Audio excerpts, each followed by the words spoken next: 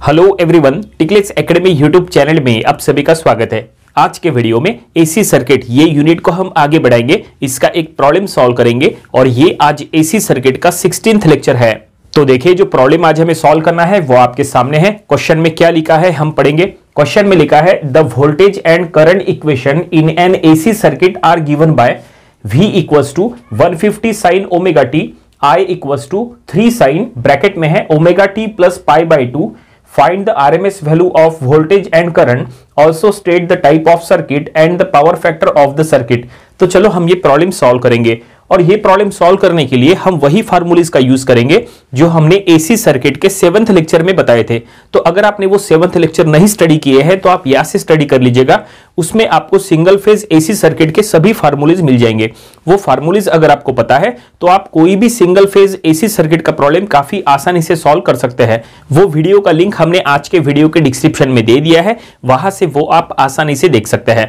तो चलो हम सबसे पहले ये क्वेश्चन में क्या डाटा दिया है, वो हम पहले लिख लेंगे as a given data then after इसका सॉल्यूशन बनाएँगे। तो क्वेश्चन में यहाँ पे दो इक्वेशन दिए हैं। पहला है वोल्टेज का इक्वेशन और दूसरा है करंट का इक्वेशन तो गिवन डाटा में ये दोनों इक्वेशन हमें यहाँ पे लिख लेना है। तो चलो हम यहाँ पे लिखते हैं गिवन डाटा तो क्या क्या दिया है?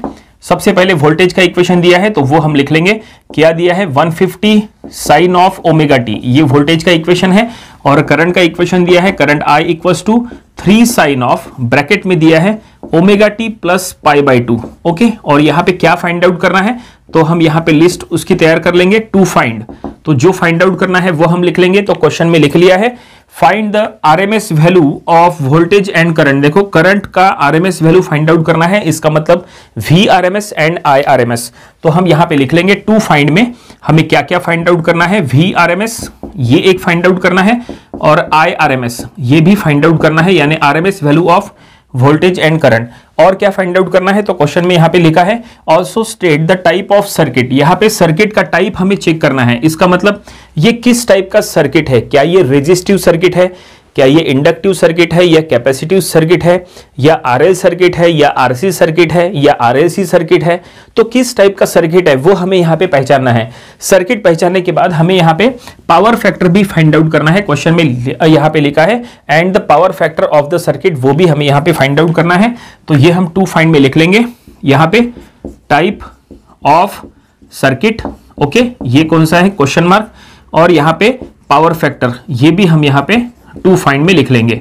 तो फाइनली क्वेश्चन में जो क्वेश्चन दिया है, उसके अकॉर्डिंग ये हमने गिवन डाटा लिख लिए। तो चलो अब हम इसका सॉल्यूशन बनाएँगे। तो सबसे पहले हमें क्या फाइंड आउट करना है? V R M S and I R M S V R M S इसका मतलब R M S value of voltage and I R M S यानी R M S value of current तो ये कैसे find out करेंगे? उसके लिए आपको फार्मूला पता होना चाहिए V R M S I R M S का। तो देखो फार्मूला हम यहाँ पे बता देते हैं। अगर आपके पास कोई भी फार्मूला नहीं लिखा होता है तो तुरंत आप अपने नोटबुक में लिख लिया करो। वैसे जैसा हमने कहा फार्मूला इसके ऊपर ऑलरेडी इसके पहले एक स्पेशल वीडियो बनाए थे। वो वीडियो आपको देख लेना चाहिए। वो काफ़ी इंपॉर्टेंट वीडियो था। तो ये देखिए ये है फार्मूला वी और आई के लिए। तो वी का formula that is V M by root two और आ, और यहाँ पे आई आर एम एस का formula that is I M by root two V M यानी maximum voltage and I M is the maximum current अब ये Vm और Im कहाँ से मिलेंगे? तो उसके लिए हम एक काम करेंगे, ये जो गिवन दोनों इक्वेशंस हैं, हम ये गिवन दोनों इक्वेशंस को वोल्टेज और करंट के स्टैंडर्ड फॉर्म के साथ, जो एसी वोल्टेज का जो स्टैंडर्ड इक्वेशन होता है, उसके साथ हम इसको कंपेयर कर लेंगे। उसी के साथ साथ एसी करंट का जो स्टैंडर्ड इक्वेशन होता है, उसके साथ हम कंपेयर कर लेंगे ये गिवन दोनों इक्वेशंस को। तो चलो हम यहाँ पे अब स्टेटमेंट में लिखते हैं। देखो, यहाँ पे हम सोल्यूशन लिखते हैं। आसानी से ये सॉल्व हो जाएगा। देखिए सोल्यूशन यहाँ पे लिखते समय सबसे पहले हम यहाँ पे काम करेंगे। Given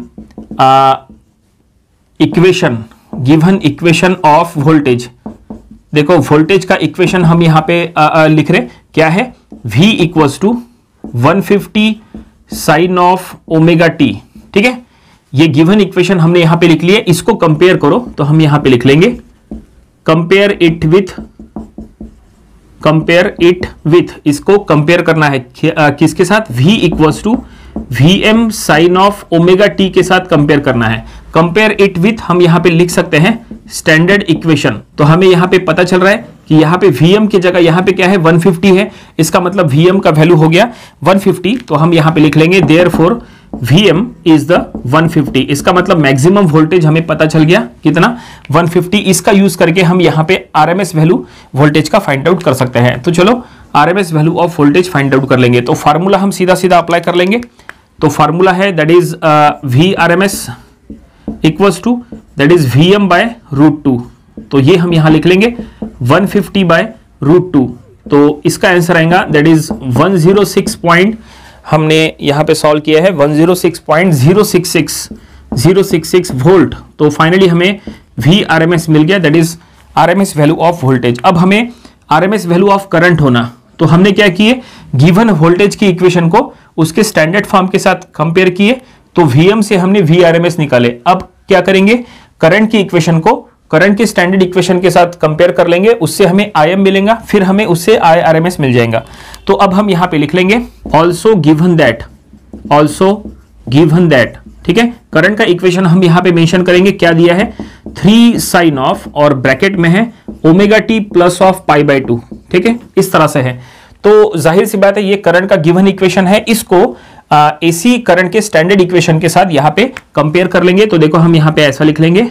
Compare it with compare it with standard equation तो क्या है स्टैंडर्ड इक्वेशन तो करंट का स्टैंडर्ड इक्वेशन होता है current I equals to I M sine of omega t plus that is plus minus phi देखो, ऐसा होता है। ये स्टैंडर्ड इक्वेशन है।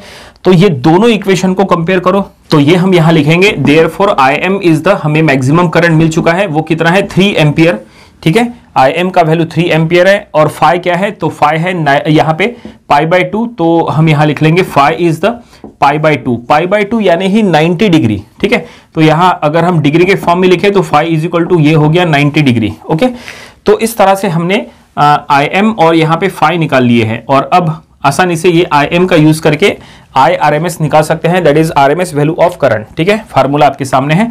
सो so, चलो अब हम यहाँ पे फाइंड आउट कर लेंगे आई आर एम एस तो I R M S formula है that is I M by root two ठीक है? फार्मूला जो मेंशन किए थे वही हमने यहाँ पे लिख लिए। बस यहाँ पे वैल्यूज़ पुटअप करो। So I M by root two I M is the three ampere तो हम यहाँ लिख लेंगे। Three divided by root two ठीक है? तो इसका आंसर आएगा that is three by root two करने के बाद two point one two one तो हम ये लिख लेंगे I R M S I R M S कितना मिला? Two point one two one ampere. तो इस तरह से हमने R M S value of voltage and R M S value of current ये दोनों हमने फाइंड आउट कर लिए। लेकिन प्रॉब्लम कंप्लीट नहीं हुआ है, क्योंकि क्वेश्चन में यहाँ पे लिखा था कि also find the also state the type of circuit and the power factor हमें देखो, हमने गिवन डाटा में लिख लिया था, हमें टाइप ऑफ़ सर्किट किस टाइप का सर्किट है, वो हमें बताना है और पावर फैक्टर भी यहाँ पे फाइंड आउट करना है। तो सर्किट का टाइप अब कैसे चेक करेंगे? कौन से टाइप का सर्किट है? तो ज़ाहिर सी बात है, उसके लिए आपको करंट का इक्वेशन चेक करना पड़ेगा। जो जो गिवन करंट का इक्वेशन है, हमें उसको चेक करना पड़ेगा। तो गिवन करंट का इक्वेशन ये था that is I equals to three sine omega t plus pi by two plus pi by two यानी ही प्लस नाइनटी डिग्री देखो यहाँ पे अब हम ये पाई बाई टू को हटा के इसके जगह 90 डिग्री लिख लेंगे, ठीक है? अब इसके सामने प्लस है, ठीक है? फ़ेज़ एंगल फाइव के सामने प्लस है, इसका मतलब यह है कि करंट वोल्टेज को लीड कर रहा है, ठीक है? क्योंकि प्लस है प्लस है, इसलिए वोल्टेज करंट को लीड करता है। अगर यहाँ पे माइनस होता तो हम यहाँ पे कहते हैं कि करंट वोल्टेज को लैक कर रहा है, लेकिन नहीं, यहाँ पे प्लस है। इसका मतलब करंट वोल्टेज को लीड कर रहा है, और यहाँ पे फाइव का वैल्यू कितना है? 90 डिग्री है। इसका मतलब हम ये कह सकते हैं कि करंट वोल्टेज को लीड कर रहा है by an angle of 90 degree. और अब ये कौन सा सर्किट है? तो ये है प्योरली कैपेसिटिव सर्किट क्योंकि ये रूल है। हमने इसके पहले ऑलरेडी कैपेसिटिव सर्किट के ऊपर एक स्पेशल वीडियो बनाए थे। उसमें हमने ये बात बताए थे कि अगर प्योर कैपेसिटिव सर्किट हो तो प्योर कैपेसिटेंस के अक्रॉस जब कभी भी आप एसी वोल्टेज अप्लाई करेंगे तो उसके वजह से जो रिजल्टिंग करंट है, वो भी अल्टरनेटिंग फॉर्म में रहता है एसी फॉर्म में रहता है, और वो करंट वोल्टेज को लीड करता है by an angle of 90 degree ये हमने बताए थे. तो ये अब हम यहाँ पे मेंशन कर लेंगे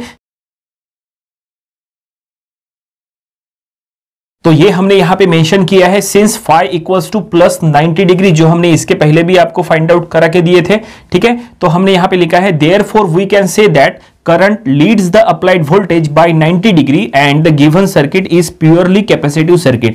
ठीक है? एग्ज़ाम में भी जब इस टाइप का प्रॉब्लम आएगा तो आपको इस टाइप का स्टेटमेंट लिखना कंपलसरी है। तो ये हमने लिख लिए कि जो गिवन सर्किट है, वो प्योरली कैपेसिटिव सर्किट है, ऐसा हमने मेंशन कर लिए, लेकिन प्रॉब्लम अभी भी कंप्लीट नहीं हुआ, क्योंकि अब इसके बाद हमें पावर फैक्टर भी फाइंड आउट करना है। तो पावर फैक्टर फाइंड आउट करने का फॉर्मूला होता है cos phi power factor is the cos phi अब फाइव क्या है? तो फाइव है 90 डिग्री तो कॉस 90 तो कॉस 90 क्या होगा? ज़ीरो। कॉस 90 ज़ीरो, इसका मतलब पावर फैक्टर ज़ीरो। तो आप यहाँ पे लिख सकते हैं, ठीक है? पावर फैक्टर, ठीक है? Power factor power factor that is cos of phi that is cos of 90 degree, ठीक है? तो वो हो जाएगा zero. Cos of 90 degree zero तो फाइनली हमें पावर फैक्टर यहाँ पे मिल गया ज़ीरो लेकिन हम यहाँ पे मेंशन कर लेंगे कि ये जो पावर फैक्टर है, ये लीडिंग पावर फैक्टर है, क्योंकि फाइव जो है फाइव के आगे प्लस है, इसका मतलब ये लीडिंग पावर फैक्टर है। सो हम यहाँ पे लिख लेंगे it is a leading power factor तो फाइनली क्वेश्चन में जो कुछ भी फाइंड आउट करने के लिए कहा था, वो सब कुछ हमने फाइंड आउट कर लिए। प्रॉब्लम यहीं पे कंप्लीट हो गया। उम्मीद करते हैं कि ये प्रॉब्लम आपको समझ में आया होगा। ये प्रॉब्लम आपको अपनी प्रैक्टिस बुक में ज़रूर सॉल्व करके देख लेना चाहिए। ये था आज का एसी सर्किट का लेक्चर नंबर 16 इसके पहले के लेक्चर्स में हमने इसके जितने प्रॉब्लम्स लिए थे, वो भी आपको स्टडी कर लेना चाहिए। और इसके आने वाले दिनों में हम इसके और भी नंबर ऑफ़ प्रॉब्लम्स कवर करेंगे, ताकि इसकी अच्छी खासी प्रैक्टिस हो जाए। तो मिलते हैं नेक्स्ट वीडियो में। Thank you very much